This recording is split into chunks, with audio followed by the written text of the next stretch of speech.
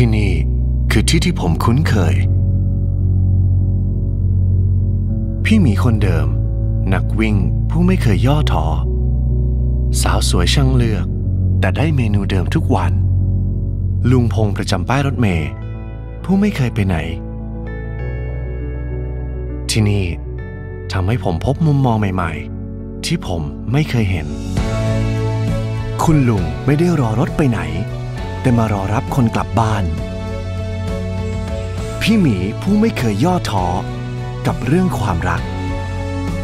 เมนูเดิมๆ แต่กลับพิเศษสำหรับบางคน และทุกมุมมองใหม่ๆ ก็กลายมาเป็นความสุขที่เพิ่มเข้ามาในชีวิต